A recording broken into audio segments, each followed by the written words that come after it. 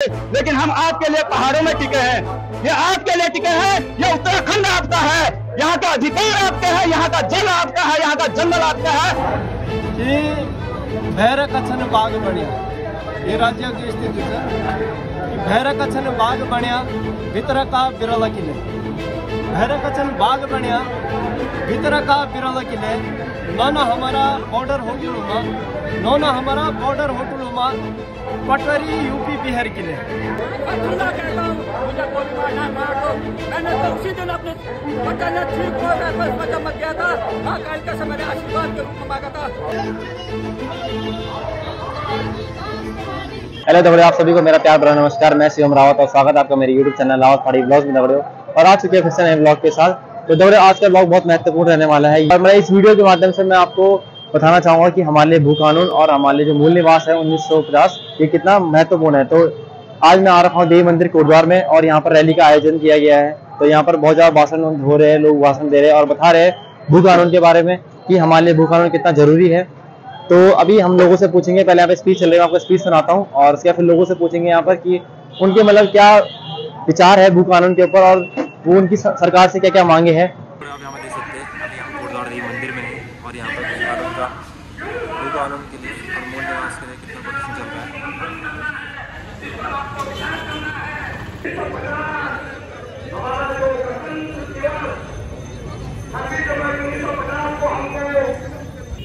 नमस्कार जेपी बलूनी मेरा घर जौरी खाल चलू साइड और पुलासू है।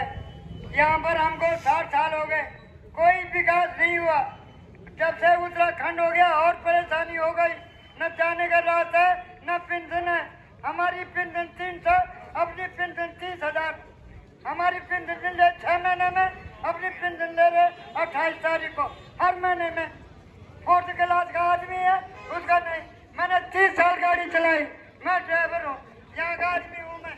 कहाँ का? यहाँ का हूँ मैं। मुजफ्फरनगर में नाम कटवा के आ गया मुजफ्फरनगर से। हर डिपार्टमेंट में मैंने चालीस साल गाड़ी चलाई। हमारी जनता बहुत परेशान है। राशन नहीं है उनके लिए, पानी नहीं है, आने जाने की सुविधा नहीं है। चालीस साल के बाद तुम्हारा, पैंसठ साल के बाद तुम्हारा किराया नहीं पड़ेगा रोडवेज़ हमको बिठा नहीं। जय भारत, जय उत्तराखंड। उत्तराखंड और इस भारत देश के लिए शहीद हुए तमाम सैनिकों, शहीदों को नमन करते हुए उत्तराखंड की इस देवभूमि कोरवार में आए आप समस्त लोगों का मैं हृदय की गहराइयों से नमन करता हूँ। मूल संघर्ष समिति की तरफ़ से जो ये आयोजन किया जा रहा है, उसको सफल बनाने में आप लोग जो योगदान दे रहे हैं, उसके लिए भी पुनः हमारे पहाड़ी स्वाभिमान सेना तमाम संघर्ष समिति और अन्य दलों के तरफ़ से आपका कोटि कोटि धन्यवाद हम देते हैं कि कम से कम आप इस बुद्धिमत्ता को रखते हैं कि हमारे इस पहाड़ में, इस उत्तराखंड राज्य में मूल निवास और भू कानून जैसे मुख्य बिंदु होने चाहिए, जो कि आज इस उत्तराखंड के विकास के लिए हमने शुरू से मांगा था। लेकिन ये भू कानून क्या है? मूल निवास क्या है? इसका साइड इफ़ेक्ट क्या है ये सब हमारे साथियों ने अलग अलग मंच पर अलग अलग रैलियों में हल्द्वानी में और हर जगह बता दिया है। मैं तो सिर्फ़ अब ये बताऊँगा कि करना क्या है। अब हमने इसमें करना क्या है, हम इन शब्दों में बिल्कुल शॉर्ट में बोलते जाएँगे। हम ये बोलेंगे, सर कटा सकते हैं लेकिन, सर कटा सकते हैं लेकिन झुक नहीं सकते। अब हम अपनी मुहिम पर भू कानून मूल निवास लेकर रहेंगे, हम अब रुक नहीं सकते। एक दूसरी बात यह है, इसके साथ ही मैं दूसरी एक बात और बताऊँगा। हम पहाड़ी शेर हैं गडर करते हैं करते हम हम दिखाते नहीं है इसी ट्यून पर मैं एक और बात आपको बताता हूँ हम पहाड़ी शेर हैं हम पहाड़ी शेर हैं किसी के पैर नहीं हम पहाड़ी शेर हैं हम किसी के पैर नहीं अगर धामी सरकार ऐसे ही आँख मूंदती रही तो अब आपकी खैर नहीं इन शब्दों के साथ मैं अपना भाषण खत्म करता हूँ और सोच दिलाता हूँ आप सबको कि आप मुद्दा बना दो क्या है कैसा है वो छोड़ दो अब सिर्फ़ ये बताओ हमने अपना राज्य को बचाना है मैं भी एक पूर्व सैनिक हूँ हमने तीन साल सेना में नौकरी करके देश की सेवा की है। अब उत्तराखंड की सेवा करेंगे, इस उत्तराखंड को बचाएँगे।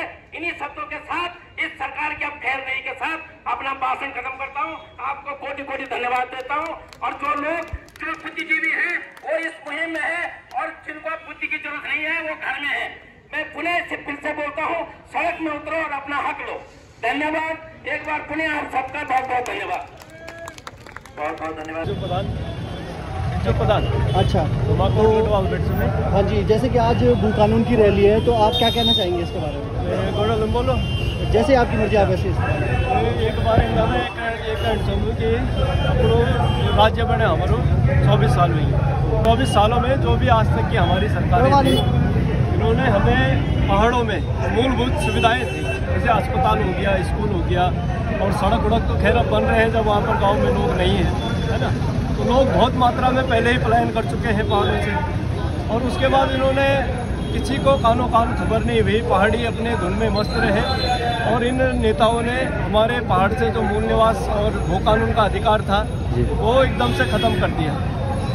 तो अब हमारे पास संकट ये है कि हमारे जो पहाड़ में जो ज़मीनें हैं वहाँ पर ये भारी लोगों का ये यहाँ पर बसाए जा रहे हैं। लोग वहाँ पर ज़मीन अंधाधुंध खरीद रहे हैं। फैक्ट्रियाँ वहाँ बना पर रहे हैं। कोई ज़मीन की कोई लिमिट नहीं है। कोई कितना भी अगर कोई उद्योगपति होगा वो पूरा का पूरा पहाड़ खरीद देगा और लालच में आकर के हमारे पहाड़ी उस पहाड़ को बेच भी देंगे। तो कल को हमारा जो अस्तित्व है जो। हमारे पूर्वजों ने वहाँ पर पहाड़ में रहे हैं उन्होंने मेहनत की है। हमारा रिवाज। वहाँ पर ढूँगा गारा चाट रही। उनका कुछ नहीं रह जाएगा। उन्होंने जो तपस्या करी थी वो तपस्या सारी खत्म। हम आने वाली पीढ़ी जो हम कर रहे हैं ये बहुत पाप पाप है ये पाप लगेगा हम पहाड़ियों को। अगर हम अपने पूर्वजों का मान नहीं रख सकते हैं तो उन्होंने हमारे लिए रखा था उसको नहीं बचा सकते हैं तो ये बहुत ही दुखद है और बहुत सब लोगों को इसके लिए लड़ना चाहिए। कोई पार्टीवाद नहीं है हम अपने पहाड़ के लिए लड़ रहे हैं अपने जल जंगल ज़मीन के लिए लड़ रहे हैं। युवाओं को ये मैसेज देना चाहता हूँ कि बुलाओ अभी भी तुम मजबूरी में तुम छोड़ करके आ रखे हो पहाड़। तुमने पलायन नहीं किया। है उनको बोलता हूँ पलायन शब्द बहुत आसान है कि हमने पलायन कर दिया। हमने पलायन नहीं किया। हमें एक हिसाब से हमें भगाया गया। हम भगाया गया हमें पहाड़ों से क्योंकि वहाँ पर हमें सुविधाएँ नहीं रोज़गार नहीं है। रोज़गार नहीं है तो इसलिए हमें तो आना पड़ा ना। वहाँ पर क्या करेंगे हम? तो हमें पलायन बहुत आसान शब्द है हमें एक हिसाब से भगाया गया है तो मैं युवाओं को यही बोलूँगा कि अपने पुरखों के लिए उनके बारे में पढ़ो उनके बारे में जानो तुम दिल्ली गुरुद्वार कहीं भी हो। अपनी भाषा तुम बोलते नहीं हो अपनी भाषा में सबसे ज़्यादा पहले तो बात करो तो अपनी ज़मीन से जुड़ो और इसको यहाँ पर भू कानून का सपोर्ट करो, क्योंकि सरकारें तभी जागेगी। सरकारों का आजकल क्या है कि बीजेपी, कांग्रेस बस कुछ भी कर रही है, अपना वोट पा रही है और उनको मज़े हैं उनके। कोई मुद्दे उठाते नहीं, हमारे पहाड़ी शांत स्वभाव के होते हैं। तो उनके हो है तो इसलिए पहाड़ जो हमारे युवा है, उनको आगे आना चाहिए और लड़ना चाहिए। क्योंकि युवा जब आगे आएगा, तभी जाकर के कुछ होगा, कुछ हलचल होगी। तो सारे युवाओं को मैं यही कहना चाहता हूँ कि भाई, तुम आओ और अपने ही अपने उससे प्लेटफॉर्म से। तुम अगर सोशल मीडिया फेसबुक इंस्टाग्राम सभी चलाते हैं जी भाई तो कम से कम तुम अगर आ नहीं सकते तो वहाँ पर तुम अपनी मुहिम चला सकते हो। जागरूकता करो लोगों जागरूकता फैला सकते हो। जी। सरकार तक अपनी बातें फैला सकते हो। जी जी। तो वैसे मिले कि गीत लिख रहा जो हाँ कानून भरे तो मैं जरा जो एक चार बोल तुम तो सुनो। कि भैर कछन बाग बढ़िया ये राज्य की स्थिति है कि भैर कछन बाग बनिया भीतर का बिरला किले। भैर कचन बाग बनिया भीतर का बिरला किले। न न हमारा बॉर्डर होटल लुमा न न हमारा बॉर्डर होटल लुमा पटवरी यूपी बिहार किले। ठेकेदारी भी गैर का आई दून हरिद्वार बसाई। ठेकेदारी भी गैर का आई दून हरिद्वार बसाई। जो जमीर बेचने तुन और पाड़ उठाए अंगूठे दिखाई पाड़ उठाए अंगूठे दिखाई। पितर पुरखों का मिसाया। पितृ पुरखों का मिसाया ढूँगा फिर मिसाव तुम पितृ पुरखों का मिसाया ढूँगा फिर मिसाव तुम कन के घड़ी जोड़ वेन वे थे ना भुलाव तुम वे थे ना बिकाव तुम जल जंगल ज़मीन तुम्हारी, जल जंगल ज़मीन तुम्हारी, तुम संभाला अपनो थान द्वार। जल जंगल ज़मीन तुम्हारी, तुम संभाला अपनो थान द्वार। अपना ही डेरा का पौण भेजला अपना ही घर का पौण भेजला समझी जा बथों की सार समझी जा बथों की सार। बहुत ही सुंदर कविता आपने सुनाई। इससे नुकसान तो वही हो सकता है कि नुकसान तो हो गया है काफ़ी हद तक नुकसान हो गया है। लेकिन जितनी जल्दी अगर इसमें अब जितना देर होगा अब नुकसान की जो संभावना है उससे ज़्यादा स्केल पर होगी और पहाड़ बिक जाएँगे दस साल बाद हमारा अस्तित्व कुछ नहीं रह जाएगा हम लड़ने लायक भी नहीं रहेंगे। अभी हम यहाँ पर सड़कों पर लड़ भी रहे हैं दस साल बाद हम लड़ भी नहीं सकते। ये सारा पुलिस प्रशासन सब उस हिसाब से सेट हो जाएगा। कुछ नहीं बच- बचेगा उसके बाद। अभी स्थिति है लड़ने लायक है तो अभी लड़ो। लास्ट मौका है दस साल बाद सब खत्म हो जाएगा। कहाँ से भाई आप? मैं भी दुमोकोट साइड का ही हूँ भाई। अच्छा कहूँ? ताल चलो थोड़ा अपन। अच्छा तो मार्केट हल्दुखाल अच्छा उनकी बात है? हाँ जी। दिगोली खाल। हाँ, हाँ। अच्छा भाई अच्छा। तो आप मतलब घर पे आज ही आ रहे हो बैठ। अच्छा नोएडा भेज नौकरी करते आप अच्छा क्या टाइम है क्या तुम नौकरी कर तो टाइम है क्या? धन्यवाद भाई जी कविता बहुत बढ़िया सुना है पहले ज़रूर भाई जी। आपका नाम क्या है? मैं पूर्व सैनिक भुवन कठैन चौकिया ब्लॉक अल्मोड़ा जनपद। मैं तहे दिल से जो यहाँ भू कानून और मूल निवास की मांग के लिए आए हैं उनको तहे दिल से धन्यवाद करना चाहता हूँ और एक बात मैं साफ़ भी कहना चाहता हूँ क्योंकि मेरे मन में जो होती है मैं बोलता हूँ ना मैं किसी से डरता हूँ ना मैं किसी की डर है। मैं उन सभी आदमी लोगों से यह भी कहना चाहता हूँ आप यहाँ आए हैं तो सिर्फ़ ये नहीं चलेगा, मैं तो भू कानून और मूल निवास का समर्थन करता हूँ, पर वोट दूँगा बीजेपी कांग्रेस को। बिल्कुल नहीं चलेगा, जब तक हम इनको सत्ता से नहीं फेंकेंगे, ना हमको भू कानून मिलेगा, ना हमको मूल निवास मिलेगा। आपने देख लिया है तेईस साल इनको देख लिया है। तो हमारी कुमामी में बोलते हैं कि घुकुट जो बिरौगी देखना आँख बंद करूँ तो वो वाली कहानी नहीं चलेगी। जब तक हम इनको सत्ता से बाहर नहीं फेंकेंगे, ना हमको भू कानून मिलेगा, ना मूल निवास मिलेगा। ये मान लो आप, आज डर के मारे इन्होंने भू कानून लागू भी कर दिया तो अगली सरकार आएगी वो फिर इसको नष्ट कर देगी। भरोसे नहीं छोड़ना है। तो मेरा यह कहना है कि इनको सत्ता से भगाना है। और दूसरी चीज़ हमारे आदरणीय मुख्यमंत्री जी धामी जी यूसीजी लाए हैं। यूसीजी लाने में उन्होंने एक सेकंड नहीं लगाया एक सेकंड लाल किले से आदेश आया कि यूसीजी लागू करो यूसीजी लागू और हम तेईस साल से भू कानून और मूल निवास के लिए लड़ रहे हैं। उनके कान में अभी तक जू नहीं लगी है। तो समझ सकते हैं कि हमारा परिवार का मुखिया किसके इशारों पर चलता है? किसके इशारों पर चलता है? उनसे उनसे ज़्यादा ताकत उनसे ज़्यादा हिम्मत तो मेरे पिताजी रखते हैं क्योंकि मेरे पिताजी भी घर के मुखिया हैं। लेकिन उन्हें मेरे घर के हित में जो फैसला लेना है वो किसी बाहर वाले से नहीं पूछते हैं वो परिवार के सदस्यों से पूछते हैं। तो मैं अपने मुखिया से भी कहना चाहता हूँ प्रदेश के मुखिया से कि दिल्ली सरकार की सुनने की जगह अपने परिवार की सुनो। कहने को बहुत कुछ है, कहने को बहुत कुछ है, लेकिन मेरे पास दर्द के सिवा और कुछ नहीं है, दर्द के सिवा और कुछ नहीं है। जय उत्तराखंड, जय भारत, जय बाबा केदार। मैं युवाओं से कहना चाहता हूँ कि हमने जो करना था, हमने कर लिया है। मैं ये कोई घमंड से नहीं कह रहा हूँ। मैं चाहता, ये मेरे पूर्व सैनिक और भी जो यहाँ पर आए हैं, वो भी चाहते तो कहीं विदेशों में होते, कहीं दिल्ली में होते, कहीं अलग जॉब कर रहे होते, लेकिन हम आपके लिए पहाड़ों में टिके हैं। ये आपके लिए टिके हैं, ये उत्तराखंड आपका है, यहाँ का अधिकार आपका है, यहाँ का जल आपका है, यहाँ का जंगल आपका है। तो मैं अपने युवाओं से कहना चाहता हूँ कि जागो जागो। ये यहाँ की नौकरियाँ भी आपकी है, सब कुछ आपका है। अगर आप नहीं जागे तो आने वाला भविष्य ऐसा होगा। ना यहाँ आपका अस्तित्व रहेगा और ना आपकी सभ्यता रहेगी। आप आज तो जय श्री राम बोल रहे हैं, लेकिन कल को शायद कुछ और ही बोलेंगे। मैं किसी धर्म और जाति का विरोध नहीं कर रहा हूँ लेकिन मेरा कर्तव्य है और आप लोगों का भी कर्तव्य है कि अपनी सभ्यता और संस्कृति को बचाना। तो जान दो नहीं तो मेरी आँखें देख रही है। पता नहीं ये गलत क्यों देख रही है लेकिन वो देख रही है बहुत गलत देख रही है। तो अधिक क्या कहें? इतना ही काफ़ी है। तो अभी हमारे साथ अंकल जी आ चुके हैं। तो अंकल जी आपका नाम क्या है? मेरा नाम दिसंबर तक बौथियाल है। मैं देहरादून में संयुक्त राज्य संयुक्त समिति का जिला अध्यक्ष हूँ। और आज रैली में आया हूँ। और ये रैली में बराबर सब रैली में चौबीस दिसंबर की हो, चाहे आपका उसके हल्द्वानी की हो, चाहे टेहरी की हो, हर आंदोलन में उनके साथ में हमारा कहना ये है कि सरकार जो है, ये हम लोगों को क्यों बेवकूफ़ बना रही है? आज कई साल हो चुके हैं, सरकार ने हर कार्य अपने पूरे करे, अपना जो यूसीसी कानून लाई है, तुरंत लाई है पर हमारा भू कानून क्यों नहीं ला रही? हमें मूल निवास क्यों करिए आज हमारे नौजवान बच्चों को, पहाड़ की महिलाओं को, पहाड़ के लोगों को पता नहीं है कि मूल निवास और भू कानून क्या चीज़ है। हमें उनको समझाना होगा।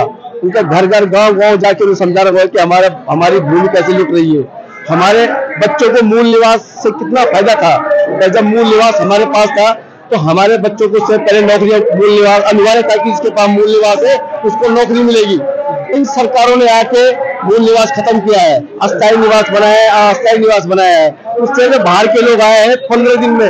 अस्थायी निवास बना के पंद्रह लाख रुपए देके बीस लाख रुपए देके नौकरियाँ, हमारी नौकरियाँ खा गए हैं। इसी प्रकार मैं कहना चाहता हूँ जो भूमि है हमारे उत्तराखंड की, सारी बिक चुकी है, पहाड़, सारे पहाड़ मतलब बाहर के लोग आके उन्होंने खरीद लिए हैं। आज हमारे लोग उनके यहाँ होटलों में, रिजोर्टों में नौकरी कर रहे हैं, बर्तन धो रहे हैं। खाना बना रहे हैं। हमें अफसोस इस बात की हम लोगों के अंदर कितनी कमी है हम अपनी ज़मीन को बेच रहे हैं। हमें अपनी ज़मीन नहीं बेचनी चाहिए। अगर किसी मजबूरी है, किसी को लड़की की शादी करनी है, किसी को बच्चों को पढ़ाना है, कोई बीमारी में जूझ रहा है, अपने लोगों को बेचे, बाहर के लोगों को न बेचे। एक संशय और है एक संशय है कि पहाड़ मैदान की बात चल रही है कि पहाड़ मैदान की बात। मैं इसमें स्पष्ट करना चाहूँगा कि पहाड़ मैदान का जो सवाल है, हमारा कहना है कि जो 1950 से यहाँ रह रहा है 1950 से जिसकी यहाँ ज़मीन है, व्यापार कर रहा है, नौकरी कर रहा है, यहाँ पे धंधा कर रहा है, वो तो हमारा उत्तराखंडी है। चाहे किसी धर्म जाति का हो तो हमारा आदमी, हमारा उत्तराखंडी है।